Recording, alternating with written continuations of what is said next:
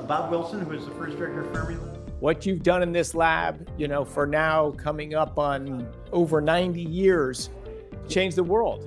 If you advance our fundamental understanding of how the world works, that's incredibly valuable. So I am a passionate believer in fundamental basic research as a critical role of the government.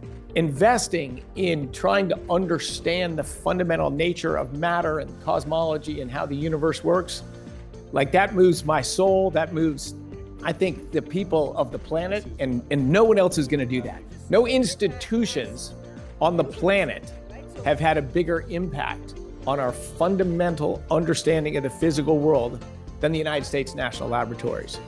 Which is why I truly believe they're just unbelievable treasures.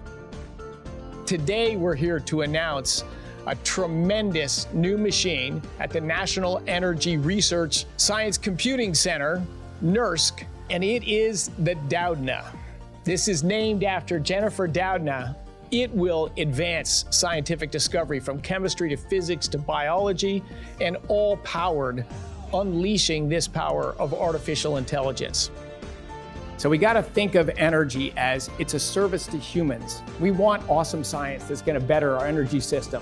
So what you do is tremendous. Thank you for your work, for this lab, for this country, and for this world. I appreciate all you do.